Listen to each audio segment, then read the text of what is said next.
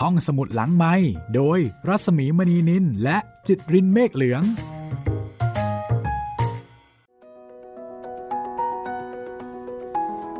ได้เวลาเปิดทำการของห้องสมุดหลังใหม่ที่จะพาไปข้ามภพข้ามชาติกันเป็นครั้งสุดท้ายแล้ว สวัสดีคุณจิตริน สวัสดีครับพี่หมีครับ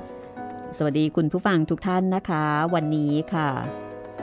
ก็ได้โอกาสแล้วก็ได้เวลา ที่จะมาข้ามภพข้ามชาติกับ ครูข้างวัง เป็นตอนอวสานแล้วนะคะ ครับผม โอ้โห เลข 16 ค่ะทำอย่างกับซีรีส์เกาหลีเลยเนาะที่เขานิยม 16 ตอนอะประมาณ 16 ตอน 12 ตอน เนี่ยเลขประมาณนี้เลยกำลังดีนะคะ ครับ แต่ก็ทราบว่าหลายคนติดหนึบหนับค่ะ ถ้าไม่ได้ฟังแล้วจะมีอาการของขาด แล้วก็หลังจากตอนนี้ไปแล้ว หลังจากอวสานไปแล้วก็ไม่ต้องกลัวว่าของจะขาดนะคะ ถ้าเกิดว่ายังติดอกติดใจแนวนี้ เดี๋ยวมีต่อค่ะ ใช่แล้วครับ รอเซอร์ไพรส์กันได้เลย แล้วก็หลังจากวันนี้ตอนนี้ ก็จะเป็นรายการตอนพิเศษ ครับผม พบกับครูก้องตัวจริงแล้วพี่ เบื้องลึกเบื้องหลังนะคะ การข้ามภพข้ามชาติ ที่ เขาเรียกว่าอะไรอะสร้างแรงสั่นสะเทือนให้กับผู้อ่าน ที่เกิดความงุนงงสงสัยว่าเอ๊ะตกลงเรื่องจริงหรือเปล่า อันนี้เป็นคำถามยอดฮิตมาก ๆ แต่วันนี้อวสานเลยนะ คุณจิตริน ครับผม โอ้แต่ก็น่าจะเป็นตอนจบที่น่าจะhappy ending นะครับ เพราะว่ามากันขนาดนี้แล้ว คือดูตามแนวไม่น่าจะออกแนวทำร้ายจิตใจกันจนเกินไปใช่ไหม ใช่ ก็ต้องติดตามกันนะคะว่า จะจบแบบ happy ending หรือเปล่า หรือถ้าเกิดว่าจบแบบ happy ending จะ happy แบบไหน happy แบบฟินฟินหรือว่า happy แบบปาดน้ำตา ติดตามได้เลยนะคะ เดี๋ยวจะได้รู้กันในอีก ไม่กี่นาทีข้างหน้านี้แล้วล่ะค่ะ ก็ทวนความเดิมกันสักนิดหนึ่ง ตอนนี้มาอยู่ที่บ้าน ของญาติครูก้องเอง กับบ้านของใหญ่ครี่ ใหญ่ครี่หรือว่าย่าครี่นะคะครับ ซึ่งก็ต้องถือว่าเป็นจุดใต้ตำต่อ อยู่แค่เส้นผมบางภูเขา ไปตามหามา โอ้โห สุดริมทิมประตูนี่ค่ะไม่เจอ ไม่ใช่นะคะ โอ้โห มาเจออยู่แค่แค่เอื้อม แค่นี้เอง แล้วผู้ดูแล คุณยายบัวครี่ ก็คือนาตุ แล้วก็ป้าต้อย ก็เป็นญาติกันอีก รู้จักกันอีก เรื่องราวจะเป็นอย่างไรนะคะ นี่คือตอนที่ 16 ค่ะ ของนวนิยายดัง ข้ามภพข้ามชาติที่หลายคนรอฟังอยู่ในตอนนี้ ผลงานของครูข้างวัง จัดพิมพ์โดยแพรวสำนักพิมพ์ห้องสมุดหลังไม้นำมาทำเป็นสื่อเสียงให้คุณได้ฟังกันแบบฟินฟินเพลินเพลินถ้าพร้อมแล้ว ไปกันเลยค่ะ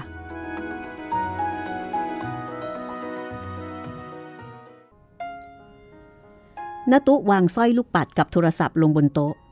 แล้วก็วิ่งหายไปหลังบ้าน ด้วยฝีเท้าที่วิ่งเร็วราวกับพายุ จนพื้นบ้านที่เป็นไม้สะเทือน รูปที่แขวนนิ่งบนฝามานาน มีการไหวไปมาเล็กน้อย ทุกคนหันมามองหน้ากัน แอบอมยิ้มเล็กน้อย คนที่ไม่เชื่อเรื่องการข้ามภพข้ามชาติ แต่รีบย่างเท้าราวหายตัวไปได้หลายภพ คือนตุนี่เป็นคนที่บอกว่าไม่เชื่อในเรื่องนี้ จากนั้นนาตูก็ถือกล่องใบหนึ่งกลับมา เป็นกล่องกระดาษลายโบราณ พอมาถึงก็รีบวางลงบนโต๊ะ ข้างกล่องไม้ของอรวรัน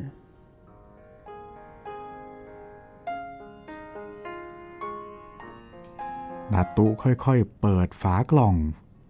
ป้าต้อย วางดอกโนรากลับใส่กล่องไม้ของอรวรันแล้วค่อยๆรื้อกล่องกระดาษที่นาตุเอามาจากหลังบ้าน พวกเราชะเง้อดูด้วยความสนใจและตื่นเต้นเป็นที่สุด กล่องมีกลิ่นเก่าที่เราไม่คุ้นนักติดอยู่ เมื่อเปิดออกเห็นแหวนนาควงหนึ่ง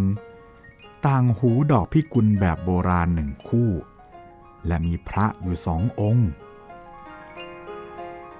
ป้าต้อย หรือดูใต้กล่อง หยิบถุงพลาสติกเล็กๆ ที่ดูเก่าขึ้นมา แล้วเปิดถุงออก ใช้นิ้วเกี่ยวสร้อยลูกปัดแบบเดียวกับสร้อยของอรวรันออกมา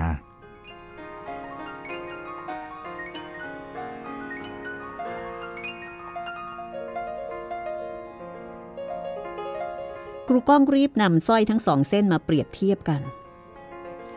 พลิกสร้อยทั้งสองเส้นไปมา จนในที่สุด ก็อยู่ในลักษณะที่ตรงกัน สีอยู่ในแนวเดียวกัน เหมือนกันทั้งสองเส้น ต่างกันตรงที่สร้อยของอรวรันดูเก่ากว่า บางเม็ดมีสีออกดำๆแล้วก็หลุดหายไปบ้างแล้ว เนื่องจากถูกฝังไว้ใต้ดินมานานหลายปี ไม่เหมือนสร้อยในกล่องของคุณยาย ที่ยังมีสีสดกว่า นุชมีสีหน้าเชื่อมั่น เราก็คิดเช่นนั้น แต่ที่ทำให้เราตกตะลึงมากที่สุดก็คือป้าต้อย ค่อยๆ สอดมือ ไปหยิบรูปที่สอดแนบไว้กับพื้นกล่องขึ้นมา มันคือรูปเดียวกัน กับที่อยู่ในโทรศัพท์มือถือของผม ผมเห็นน้ำตาป้าต้อย คลออยู่ที่เบ้าตา ส่วนนตุ ได้แต่เบิงตาขึ้น ด้วยความประหลาดใจที่สุดป้าต้อยค่อยๆ วางรูปเด็กสาวทั้งสิบคนนั้น เทียบกับรูปที่อยู่ในโทรศัพท์ รูปที่ป้าต้อยถือ ดูซีดเก่า เป็นรูปขาวดำเช่นเดียวกับรูป ที่ครูก้องมี แต่พื้นผิวหน้ารูปถ่าย ได้ถลอกหายไปเป็นบางส่วน รอยถลอกกระจัดกระจายไปทั่วทั้งภาพเป็นเม็ดเล็ก ๆ แต่ยังคงเห็นรูปใบหน้าของเด็กสาวเหล่านั้นได้ดีป้าต้อยกับนตุ มองหาเด็กสาวที่ชื่อเอมออนในรูป แล้วเงยขึ้นดูอรวรันที่อยู่ตรงหน้าเพื่อเทียบกัน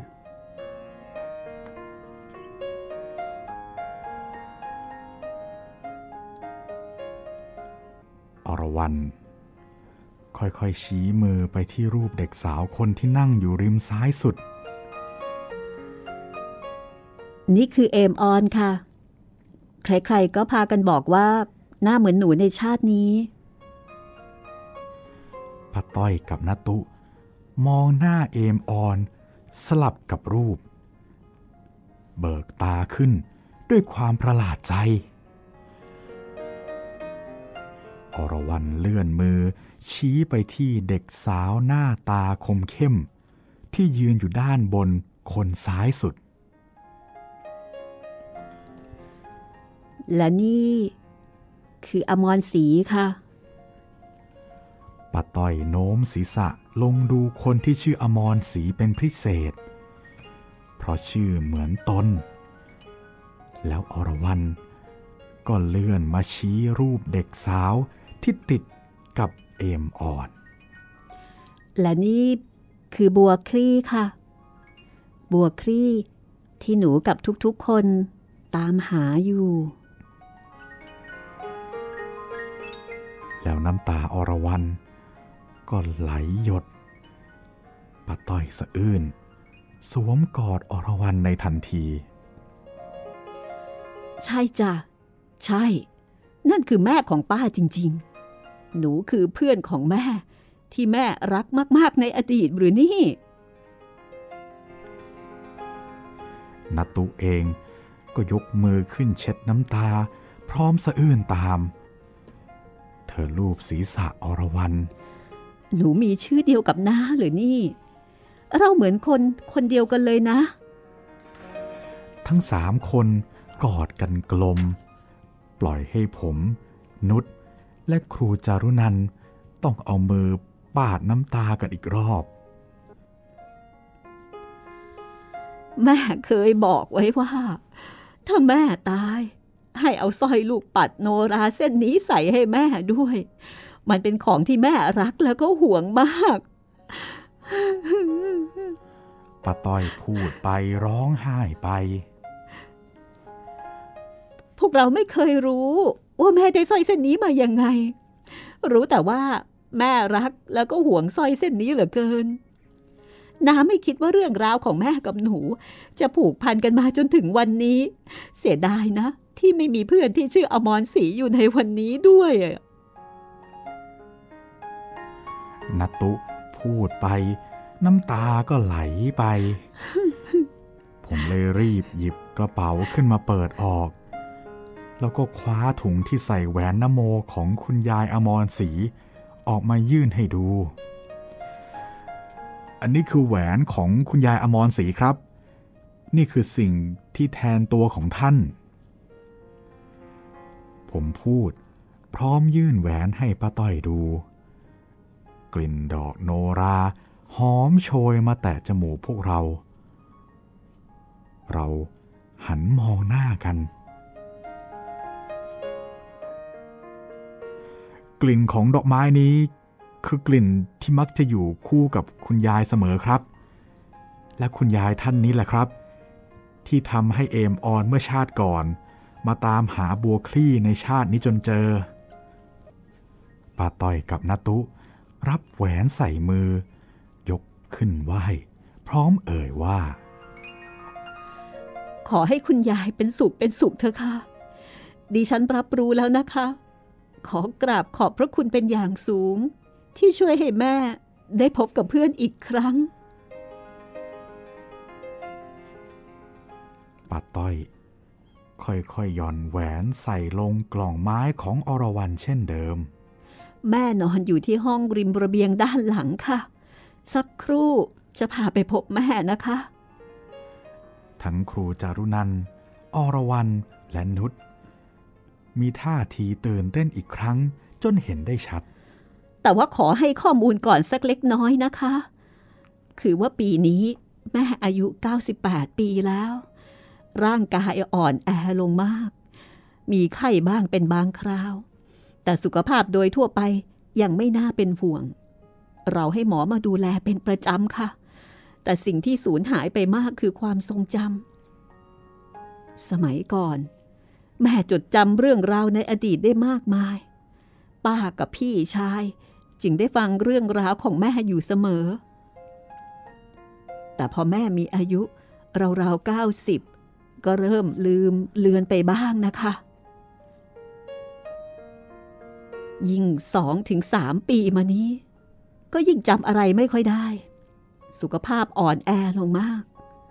จากที่เคยเดินได้ก็กลับเดินไม่ได้ ได้แต่นอนอยู่บนเตียงตลอดเวลา แม่จะมีอาการลืมเป็นส่วนใหญ่ มักคิดว่าตัวเองยังเป็นเด็ก พูดจาเหมือนเด็กคุยกัน และที่ชอบทำเป็นประจำก็คือร้องแล้วก็รำโนราค่ะ ถ้าได้ยินเสียงเพลงโนรา แม่ก็จะยกมือรำอยู่บนเตียงนั่นแหละค่ะแม่จะมีความทรงจำเป็นปกติ ส่วนใหญ่ในช่วงเช้า ราวๆ8โมงถึง9โมง แต่พอตกบ่ายหรือเย็น แม่มักจะลืมค่ะ ว้า แย่จัง ที่เรามาช่วงเย็นที่คุณยายมักลืม น่าจะเป็นช่วงเช้านะครับ แต่ก็ไม่เป็นไรนะครับ เราจะพยายามทบทวนความทรงจำของคุณยายกันนะครับ นุชบ่นเสียดายเวลาที่เรามาพบคุณยาย ไปกันเถอะค่ะ ไปพบแม่กัน นาตุชวนให้เข้าไปพบคุณยาย ผมถือกล่องไม้ของอรวรันนาตุถือกล่องกระดาษของคุณยายป้าต้อย ลุกเดินนำหน้า ครูจารุนัน อรวรันและนุชรีบเดินตามอย่างเร่งด่วน ส่วนผมเป็นคนเดินปิดท้ายขบวน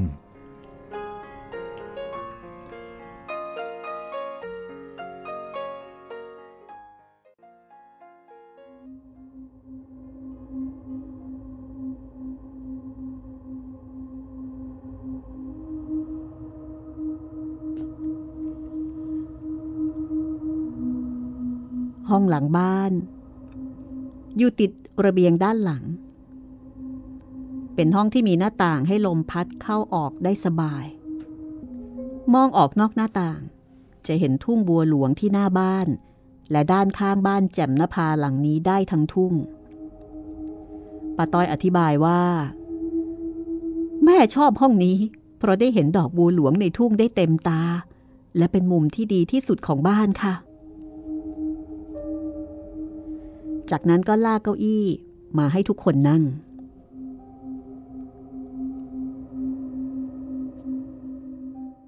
เมื่อก้าวเข้าไปในห้อง เราเห็นหิ้งที่ตั้งเด่นอยู่ริมผนังห้อง บนหิ้งมีเสิร์ตของโนราวางอยู่ในตำแหน่งตรงกลาง ด้านซ้ายและขวา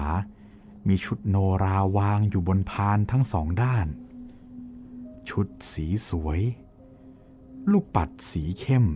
สลับสีหวานฉูดฉาดบาดตาทำให้ห้องดูเด่นขึ้น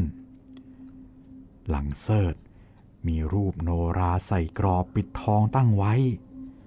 เป็นรูปของรูปปั้นพ่อขุนศรัทธา ที่เราเคยเห็นที่บ้านท่าแคนั่นเอง หน้ารูปมีพวงมาลัยดอกมะลิ และดอกรักวางอยู่สองถึงสามพวง บางพวงก็แห้งไปแล้ว บางพวงก็ยังสดอยู่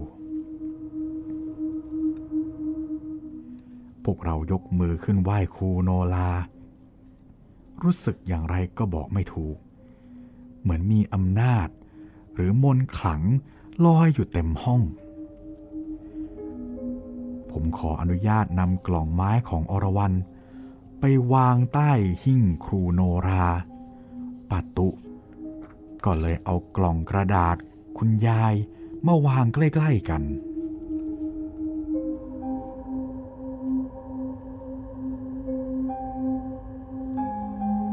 ใกล้หน้าต่าง มีเตียงของคุณยายกับร่างของคุณยายที่นอนเงียบสงบนาตุกับป้าต้อย เชิญทุกคนไปใกล้ ๆ เตียง อรวรันกับครูจารุนัน รีบเดินไปชิดริมเตียง ส่วนครูก้องยืนแถวที่สองถัดมาป้าต้อยเลื่อนผ้าแพรที่อยู่บริเวณเอวคุณยาย ขึ้นห่มคลุมหน้าอก ในขณะที่นุชครูจารุนัน อรวรัน ยืนเกาะขอบเหล็กของเตียง แล้วก็จ้องมองคุณยาย ราวกับกำลังมองภาพงานศิลปะที่มีคุณค่าที่สุดชิ้นหนึ่ง คุณยายมีผมสีดอกเหลาทั่วทั้งศีรษะ ผิวหนังเหี่ยวย่นไปทั่วทั้งตัว แขนขาตลอดทั่วลำตัวของคุณยาย มีรอยกระและขี้แมลงวันสีดำสลับสีน้ำตาล ขึ้นเป็นจุดๆกระจายไปทั่ว ใบหน้าแม้มีรอยเหี่ยวย่น และเต็มไปด้วยกระ แต่ก็มีเขาของความสวยงามอยู่ คุณยายมีผิวขาวนวล สายตานิ่งเมื่อลอยป้าต้อย จับมือคุณยายเขย่าเบาๆ ก้มลงพูดข้างๆ หูคุณยายว่ามีคนมาหา แต่ต้องพูดย้ำใกล้ๆ หูสองครั้ง คุณยายจึงหันมามองป้าต้อย คุณยายยิ้มแล้วก็ไม่พูดอะไร แม่ มีคนมาหา มีเพื่อนแม่มาหา ดูสิ แม่จำได้ไหมป้าต้อยพูดใกล้ๆหูคุณยาย คุณยายได้แต่ยิ้ม ไม่พูดอะไรเช่นเดิม แม่ เพื่อนแม่มาจากบ่อยางโน่นแน่ดูสิว่าเขาเป็นใคร บ่อยางที่สงขลาที่แม่เคยอยู่เมื่อตอนเด็กๆยังไงล่ะแม่นาตุพูดบ้าง แต่พูดอย่างไร คุณยายก็ยิ้มและเงียบ ไม่ได้โต้ตอบด้วยการพูด ทั้งป้าต้อยและนาตุ พยายามรื้อฟื้นความจำของคุณยาย แต่ก็ไม่สำเร็จ พอลองให้อรวรันพูดคุยกับคุณยาย คุณยายก็เหม่อลอย หรือได้แต่ยิ้มเท่านั้น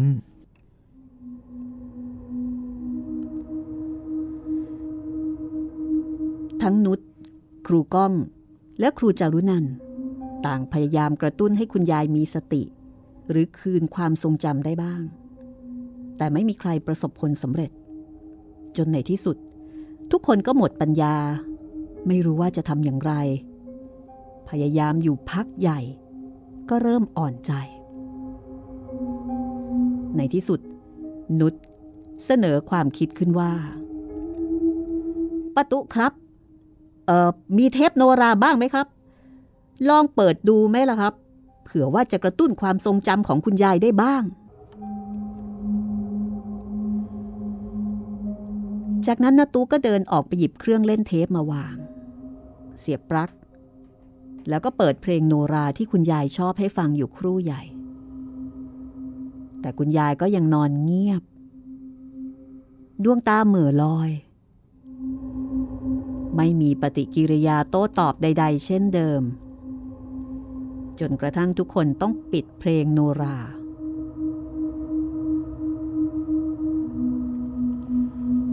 ทันใดนั้น อรวรันก็ลุกขึ้น อค่อยๆเดินไปทางหิ้งบูชาครูโนรา และพ่อครูขุนศรัทธา แล้วก็นั่งลง ยกมือขึ้นสวดมนต์ไหว้พระ และกราบครูโนรา เธอก้มหน้าหลับตาครู่หนึ่ง กล่าวคำอธิษฐานแก่ครูโนราว่า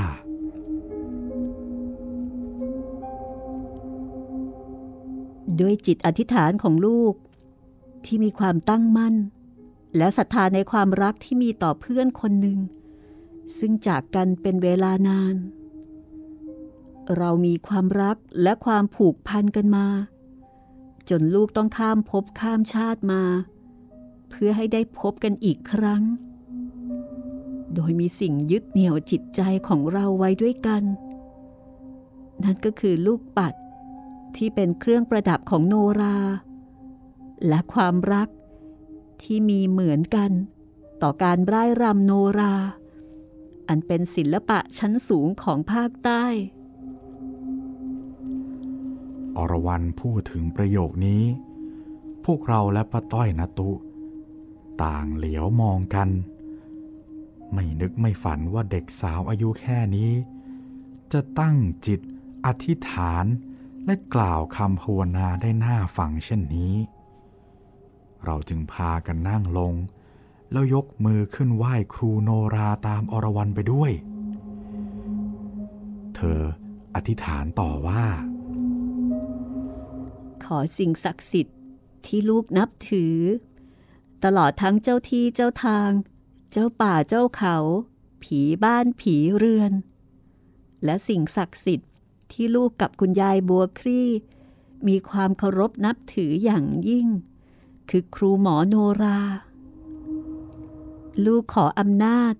และพลังแห่งความศักดิ์สิทธิ์นี้ กับพ่อขุนศรัทธา ช่วยดลบันดาล และเป็นสื่อกลางทำให้ลูกและคุณยายท่านนี้ สามารถที่จะจดจำกันได้ว่า เราเคยเป็นเพื่อนกันมาเมื่อครั้งอดีต ให้ลูกได้กลับมาทำตามสัญญา ที่ได้ให้ไว้ต่อเธอตั้งแต่ชาติก่อน ณเวลานี้ พบนี้ด้วยเถิด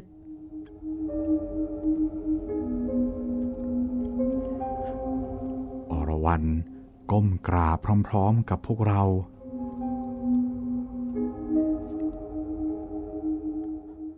สิ้นเสียงอธิษฐาน ลมด้านนอกโหมพัดเข้ามาทางหน้าต่างอย่างแรง เสียงวู่วู่ของสายลมกลางทุ่ง พัดพาเศษใบไม้เล็กๆ ปลิวว่อน ม่านลายฉลุแบบโบราณที่ผูกรวบไว้หลุดออกสะบัดพริ้ว พวงมาลัยดอกมะลิและดอกรัก ที่หน้ารูปพ่อขุนศรัทธาปลิวกระจาย แล้วร่วงลงมาใส่ศีรษะอรวรันอรวรันสะดุ้งตัวนิดหนึ่ง แล้วลืมตาขึ้น สายตานิ่งสงบและดูแปลกไปจากเดิม กลายเป็นสายตาที่ทุกคนไม่คุ้นเคย เหมือนไม่ใช่เธอ เหมือนไม่ใช่อรวรันคนเดิม จากนั้นเธอก็มองไปที่ดอกมะลิแห้งดอกหนึ่งที่ร่วงลงมา แล้วก็ไปตกอยู่ตรงสร้อยลูกปัดโนราในกล่องไม้ อรวรันค่อยๆลุกขึ้น หยิบสร้อยลูกปัดขึ้นมาแล้วหันไปหยิบสร้อยในกล่องกระดาษของคุณยายบัวครี่ ก้มลงมองสร้อยทั้งสองเส้น แล้วยิ้มน้อยๆ จากนั้นก็ก้าวไปที่เตียงคุณยายอย่างช้าๆ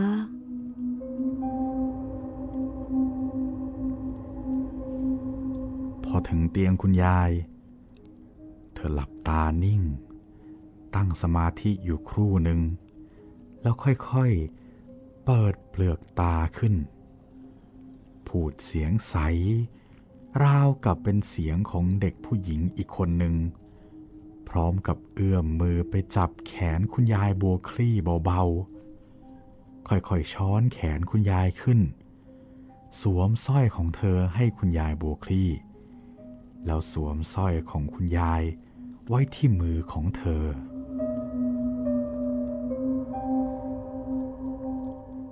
บัวคลี่น้องรัก เธอรอพี่มานานนักตั้งแต่อดีต แม้พี่จากไปตามวัฏฏะของชีวิต แต่เธอก็ยังคงรอพี่อยู่อย่างเดิม จิตผูกพันด้วยความรักอันบริสุทธิ์ ที่เธอมีต่อพี่ และบุญกุศลที่เราเคยกระทำร่วมกันมาแต่หนหลัง เหนียวนำให้พี่หวนกลับมาพบเธออีกครั้ง เพื่อทำตามสัญญา ที่ได้ให้ไว้ต่อกัน เสียงของอรวรันเริ่มสั่นเครือสร้อยสองเส้นนี้ ที่พี่มอบให้เธอในอดีต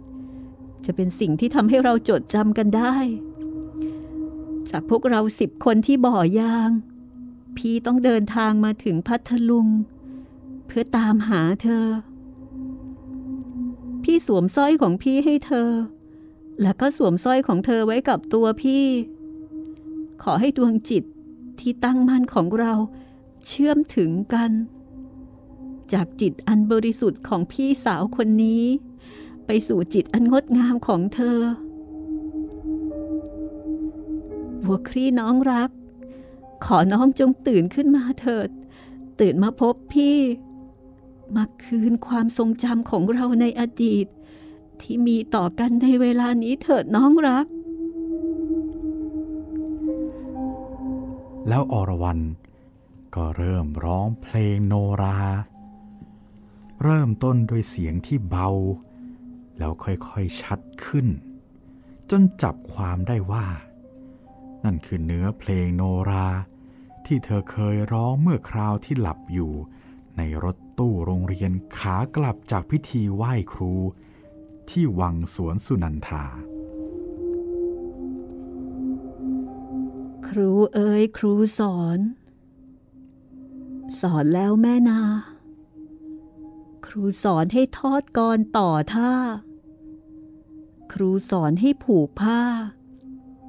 สอนแล้วแม่นา ผูกผ้า สอนให้ข้าทรงกำไล อรวรันร้องเสียงใสไพเราะจับใจ เสียงนี้ไม่ใช่เสียงของเธอแน่นอน น่าจะเป็นเสียงของเด็กสาวอีกคนหนึ่ง หรือจะเป็นเสียงของเอมออนที่อยู่ในตัวอรวรันเธอจับข้อมือข้างซ้ายของคุณยายตั้งขึ้นเป็นวงร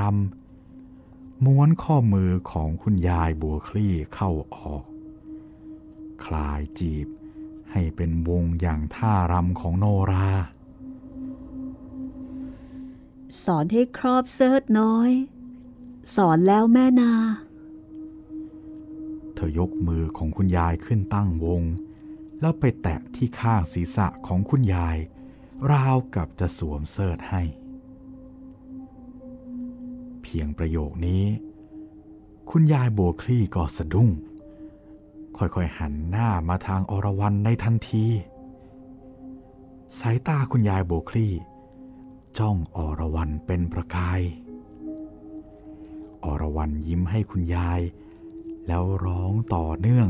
ด้วยเสียงไพเราะว่า ครอบเซิร์ชน้อย แล้วจับสร้อยพวงมาลัย สอนให้แม่อมรสี แม่บัวครี่น้องน้อยให้ทรงกำไร สอนแล้วแม่นา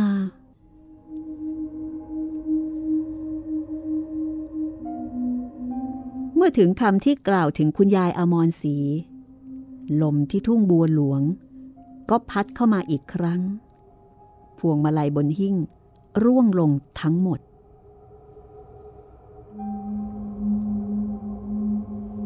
ทุกคนพากันตกใจ เชิงเทียนบนหิ้ง ตกลงมาใส่กล่องไม้ของอรวรันจนดอกโนราทั้งสามดอกร่วงลงกับพื้นแหวนนโมที่ป้าต้อยใส่ไปในกล่อง เมื่อตอนที่นั่งกันอยู่ในห้องรับแขก ก็หล่นไปอยู่ที่พื้นเช่นกัน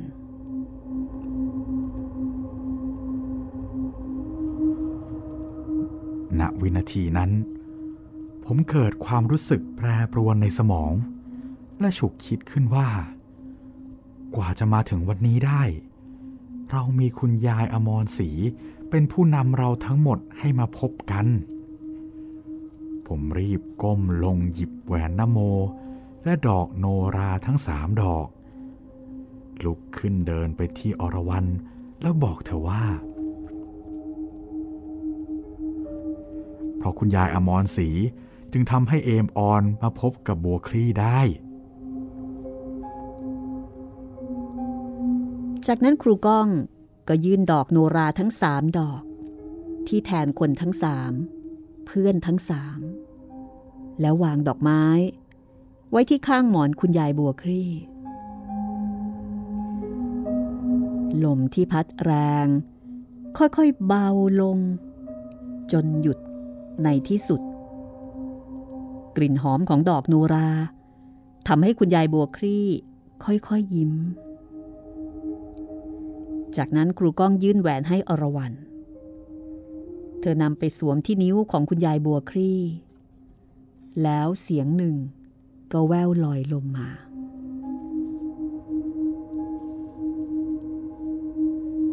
เอมออน นี่เป็นแหวนที่ฉันรักมากที่สุด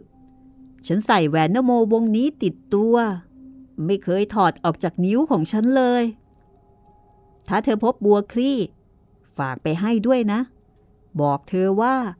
พี่สาวคนนี้ไม่เคยลืมน้องได้เลย เสียงของอมรศรีที่เคยบอกเอมออนที่ใต้ต้นโพในวัดกลาง เมื่อคราวไปขุดสร้อยลูกปัดแว่วมา แล้วอรวรันก็สวมแหวนให้คุณยายบัวคลี่ คุณยายเริ่มเคลื่อนไหวข้อมือทำท่ารำสายตาคุณยาย มองมาที่อรวรันอย่างมีความหมาย ประกายในดวงตาระยิบ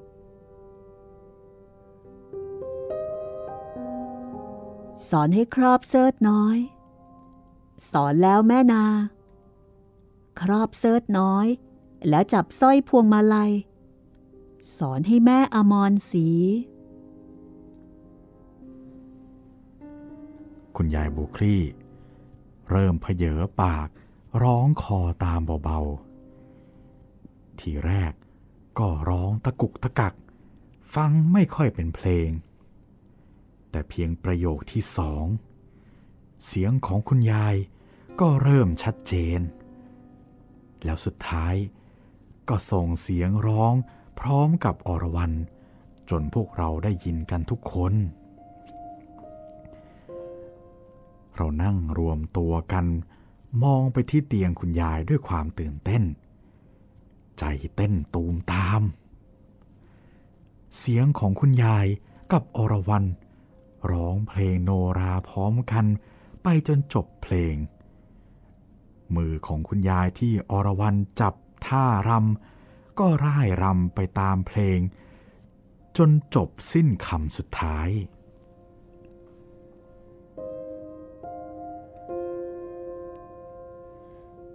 แม่บัวครี่น้องน้อย ให้ทรงกำไล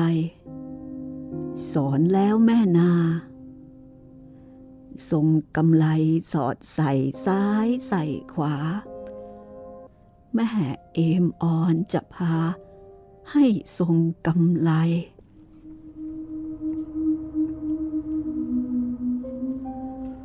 เมื่อเสียงเพลงจบลง คุณยาย มองอรวรันตาไม่กระพริบ พี่ออน พี่ออนของหนู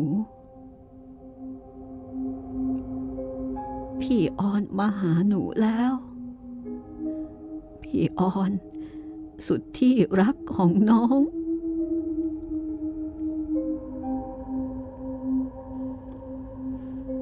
เสียงของคุณยายสั่นเครือ น้ำตาใส ๆ ค่อย ๆ ไหลลงแก้ม อรวรันยืนยิ้มเงียบ ๆ แต่น้ำตาไหลไปพร้อมกับคุณยาย เธอคว้ามือคุณยายไปหอม และบีบเบา ๆ พี่มาแล้ว พี่มาแล้วนะน้องรัก เธอรอพี่มานานมากแล้วสินะ คุณยายยิ้มบางๆ เปลี่ยนสายตาไปมองข้างๆ อรวรัน แล้วเอ่ยว่า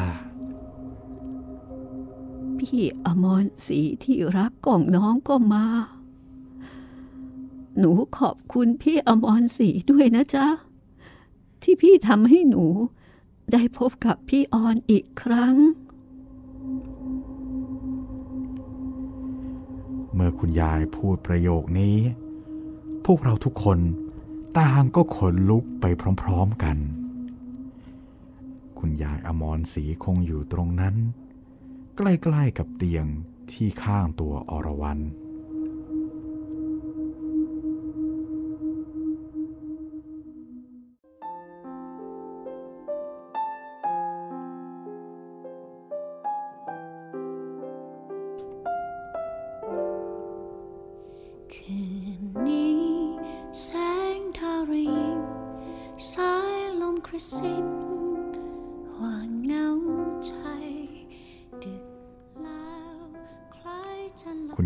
คลี่เลี้ยวมส่งมืออีกข้างหนึ่งไปข้างๆ อรวรันเหมือนจะยื่นไปหาใครสักคนที่เรามองไม่เห็น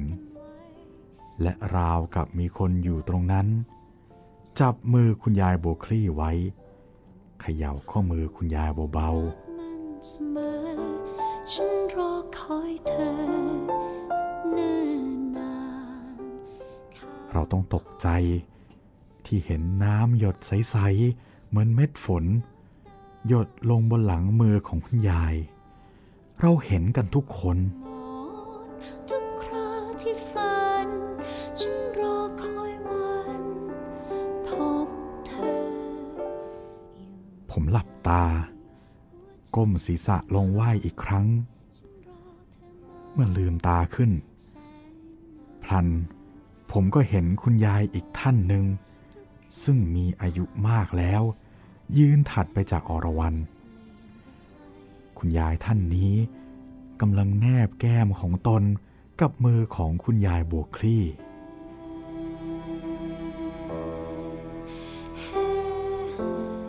น้ำตาของเธอไหลพรั่งพรูออกมา น้ำหยดใส ๆ ที่เราเห็นเมื่อสักครู่ คือน้ำตาของเธอนั่นเอง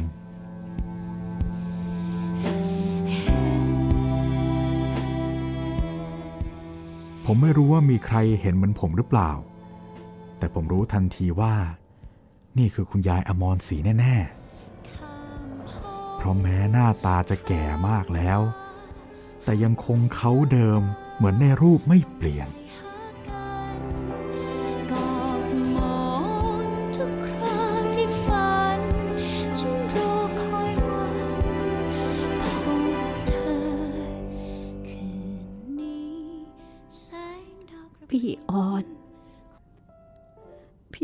รศรี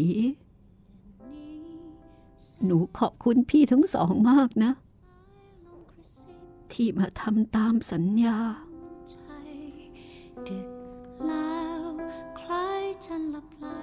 หนูไม่คิดว่าเด็กจนๆอย่างหนู จะได้มีโอกาสอย่างนี้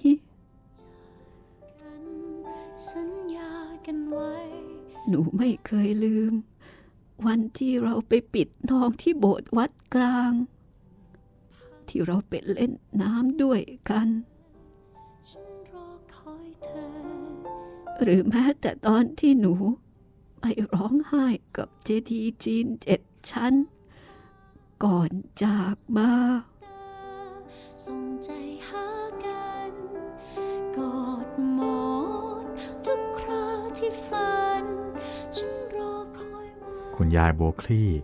พูดช้าๆอีกครั้ง สำเนียงภาษาเหมือนเด็กสาววัยแรกรุ่น แล้วค่อยๆพูดต่อไป สัญญาที่เรามีต่อกัน ยังยึดมั่น ในหัวใจของน้องสาวคนนี้เสมอ หนูรัก พี่สาวทั้งสองของหนูเอี่ยงชีวิต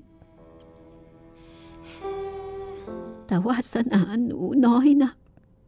ได้อยู่ใกล้ๆพี่เพียงไม่นาน หนูดีใจที่สุดที่ได้เกิดมาเป็นน้องของพี่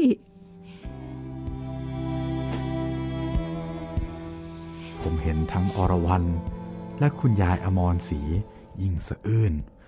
เมื่อได้ยินคุณยายโบวคลี่รำพันพบข้ามฟ้าห่างไกลลับตาส่งใจหากันกอดเราทั้งหมดที่นั่งอยู่ตรงนั้น ต่างยกมือขึ้นเช็ดน้ำตา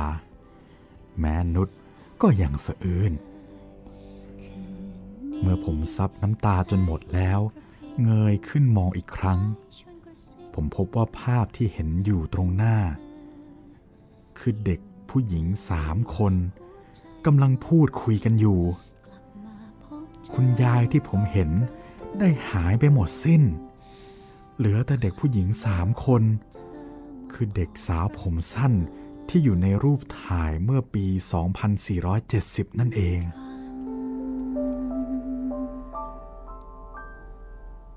เด็กสาวทั้งสามคนนั้น คนหนึ่งผิวขาว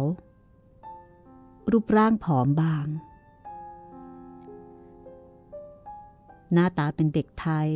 ผสมเชื้อสายจีน ส่วนอีกคนหนึ่ง รูปร่างสูง ผิวสีเข้ม ดวงตาคมโต หน้าตาคมขำ อย่างเด็กสาวชาวใต้ และที่นอนอยู่บนเตียง ก็คือเด็กสาวอีกคนหนึ่ง ที่มีผิวพรรณงามผุดผ่องเป็นนวลใหญ่ แม้สีหน้าจะดูคล้ำหมอง และมีรอยเศร้าอยู่ในแววตาพรำเพอแต่รอยยิ้มที่เปี่ยมไปด้วยความสุขของเธอ แทนคำพูดใด ๆ ได้ทั้งมวลเนิ่นนานข้ามภพข้ามฟ้าทั้งสามคน สวมชุดเดียวกันกับในรูปที่ทุกคนเห็น เสื้อแบบโบราณเรียบๆ กับผ้าถุงที่ดูมีลวดลายเป็นเอกลักษณ์แบบผ้าพื้นเมืองของภาคใต้ พวกเธอร้องเพลงโนรา เพลงเดิม ครอกันไป เสียงสามคนฟังราวกับเสียงของกินนรีน้อยๆ ในเรื่องพระสุทนมโนราที่มีความสุข ราวกับอยู่ในวิมาน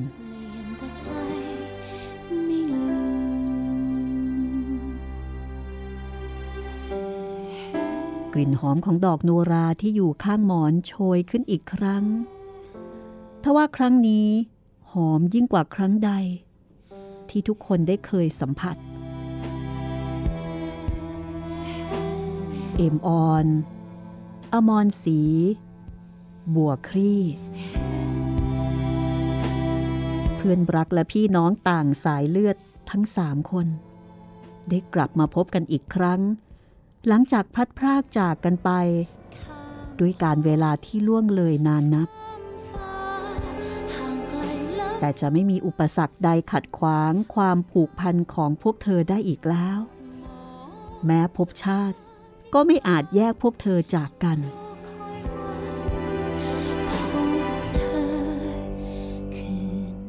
พระอาทิตย์สีส้มเรือแดงที่อ่อนแสงอยู่เหนือท้องทุ่งใกล้ลับขอบฟ้าในเวลานี้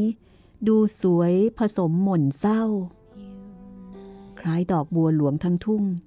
ที่กำลังห่อกรีบตูม เพื่อรอตะวันทอแสง ในย่ำรุ่งของพรุ่งนี้อีกครั้งทว่ายังพอมองเห็นบัวหลวงดอกหนึ่งกำลังคลี่กรีบสีชมพูงดงาม เมื่อยามใกล้ค่ำ ช่างดูสดชื่น และงดงาม เหมือนบัวคลี่ในบ้านจำนภาหลังนี้ยิ่งนัก ผมค่อยๆสะกิดครูจารุนัน และนุชให้ออกจากห้องนี่ไปกันเถอะป้าต้อยกับนาตุ ตามเรามาติดๆอยากปล่อยให้เป็นช่วงเวลาที่พี่และน้องได้อยู่ด้วยกัน เราเดินออกมาจนถึงห้องกลาง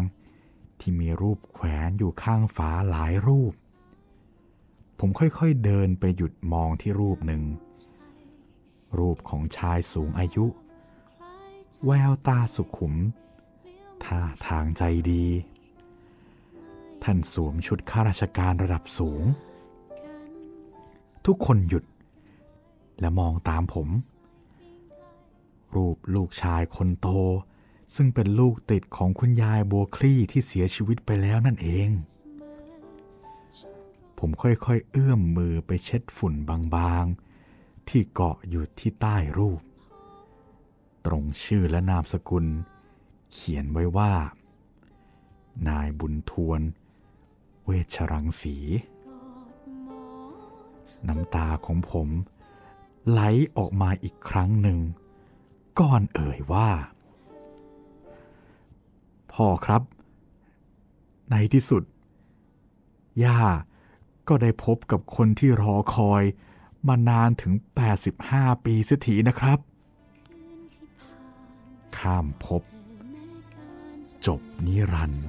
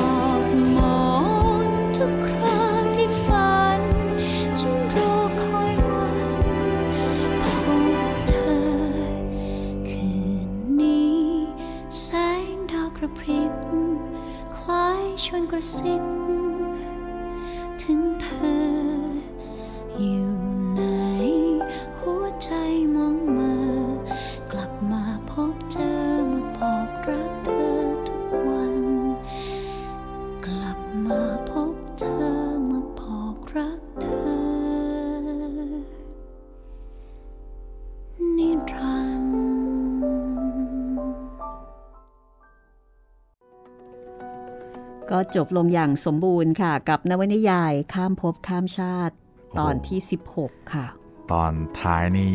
ผมว่าหลายคนน่าจะน้ำตาคลอมกันนะครับ อาจจะเปลืองกระดาษทิชชู่ไปหลายแผ่นนะคะ ครับผม หรือไม่ก็เสื้อนั่นแหละซับหาไม่ทัน ซับไปก่อนนะครับตอนนี้ 16 ตอนนะคะ ถ้าเกิดผมว่าใครที่ ฟังแล้วรู้สึกว่าเอ๊ะจำตอนนั้นตอนนี้ไม่ได้ ย้อนกลับไปฟังได้เลยนะคะ แล้วก็คิดว่าหลายหลายท่านเนี่ยอาจจะทำแบบนี้ ใช่ครับ คือต้องการที่จะปฏิดปะต่อเรื่อง ต้องการซึมซับอ่าแต่ละช่วงแต่ละตอนให้ชัดเจน หรือไม่นะคะ อาจจะย้อนฟังตั้งแต่ EP แรกเลยค่ะ ครับผม ยอดเยี่ยมเลยครับ ถ้าเป็นอย่างนั้นได้ จะได้ฟังอย่างเข้าอกเข้าใจลึกซึ้งมากยิ่งขึ้น เพราะว่าตอนนี้เรารู้เรื่องทั้งหมดแล้วใช่ไหมใช่ครับ เพราะว่าแต่ละตอนแต่ละช่วงบางทีมันจะมีแบบเงื่อนงำบางอย่างที่ซ่อนแฝงอยู่ ซึ่งตอนแรกเนี่ย เราอาจจะไม่รู้อาจจะข้ามไปใช่แล้วก็สำหรับชาว YouTube ก็อดใจรอสักนิดหนึ่งนะครับ ขอเป็นให้แฟน ๆ ทางช่องทางอื่น ได้รับฟังกันก่อน เดี๋ยว YouTube จะรีบตามไปนะครับสำหรับข้ามภพข้ามชาติ ไม่ต้องรอข้ามภพข้ามชาตินะคะ รอชาตินี้ได้เลยครับ ไม่นานค่ะ ครับผม ติดต่อกับรายการได้ 3 ช่องทางค่ะ ครับผมทั้งทางแฟนเพจ Facebook ไทย PBS Podcast แล้วก็ทางแฟนเพจของพี่หมีรัศมีมณีนินรวมถึงชาว YouTube นะครับ ก็คอมเมนต์ไว้ใต้คลิปที่ชมที่ฟังได้เลยนะครับสำหรับตอนต่อไปค่ะ เราจะพบกับ ครูก้อง ตัวจริงเสียงจริง ตัวเป็นๆเลยค่ะ ครับผม จะมาที่สถานีไทย PBS นะคะ แล้วก็จะมาตอบคำถามทุกอย่าง ที่เราถามแล้วก็ที่คุณผู้ฟังสงสัยค่ะ จะถามแทนใจให้ ครับผมสำหรับข้ามภพข้ามชาตินะครับ ค่ะ ครูก้องก็คือเจ้าของนามปากกาครูข้างวัง ซึ่งตรงนี้นะคะ หลายคนอาจจะอยากรู้ก็ได้นะว่าทำไมต้องเป็นอ่าครูครูข้างวัง ครูในวัง ครูที่วัง เอ๊ะทำไมต้องข้างๆนั่นนะสินะ บ้านครูก้องอยู่ข้างวังเหรอ วังอะไร โอ้คำถามมากมาย EP เดียวจะพอหรือเปล่านี่ยังสงสัย นั่นนะสิครับ เอาเป็นว่าตอนต่อไปค่ะได้พบกับอาจารย์พงพันธ์เวชรังสีหรือว่าครูข้างวัง หรือว่าครูก้อง ผู้เขียนข้ามภพข้ามชาติ แล้วก็หลังจากนั้นนะคะ คุณจิตริน ครับผม เราจะข้ามกลับ มายังโลกปัจจุบันนะคะ เรียกว่าเป็นเซอร์ไพรส์ได้ไหมครับพี่ ก็เป็นเซอร์ไพรส์เล็กครับผมๆเซอร์ไพรส์เล็กๆนะคะ แต่ว่าน่าจะมีผลสะเทือนที่ไม่เล็ก เพราะว่าซีรีส์ชุดต่อไปค่ะ เราจะข้ามกลับมาแล้วก็ย้อนไปที่อดีต แต่ว่าไม่ได้ถึงขนาดต้องข้ามภพข้ามชาติกัน แค่ข้ามการเวลา กลับไปที่วัยเด็กของครูก้องค่ะ โอ้เป็น เรียกว่าเป็นจักรวาลเดียวกัน ใช่ กับข้ามภพข้ามชาติ ในสมัยที่ครูก้องอายุประมาณ 10 ขวบอ่านี่เป็นเรื่องราวในวัยเด็ก อารมณ์เหมือนกับถอยย้อนไปในอดีต เป็นพีครัวฮะเป็นแบบว่าก่อนเรื่องหลักจะมาถึง อ่า ฟังเรื่องหลักก่อน แล้วก็แล้วก็ย้อนกลับกลับไปไป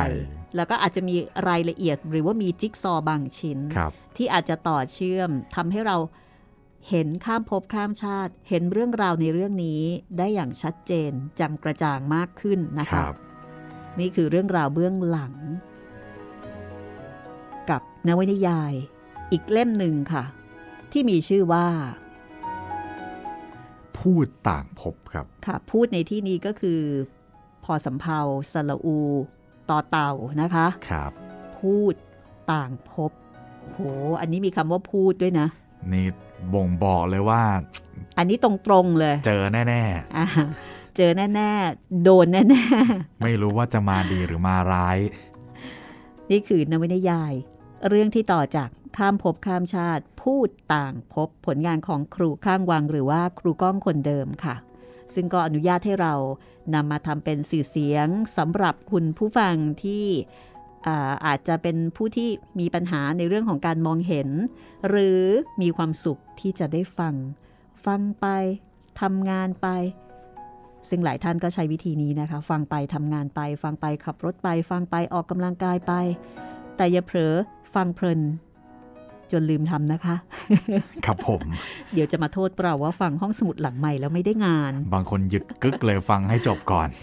แต่ตอนสุดท้ายนี่ต้องอนุญาตเลยนะครับผมเอออันนี้อาจจะต้องใช้สมาธิ ใช่จะได้เนาะอื้อหือจะได้ซึมซับอารมณ์อารมณ์มันมากมายเหลือเกินตอนสุดท้าย อันนี้ถ้าเกิดฟังแล้วทำงานต่อไม่ได้นี่เข้าใจเลยครับผม เอาละค่ะวันนี้เราสองคนก็ขอลากลับมาที่ชาติภพปัจจุบันก่อนนะคะ แล้วตอนผมต่อไปอย่าลืมกลับมาพบกับผู้เขียนข้ามภพข้ามชาติ กับสัมภาษณ์พิเศษ ครูก้องค่ะ วันนี้เราสองคนลาไปก่อนนะคะ สวัสดีครับ สวัสดีค่ะ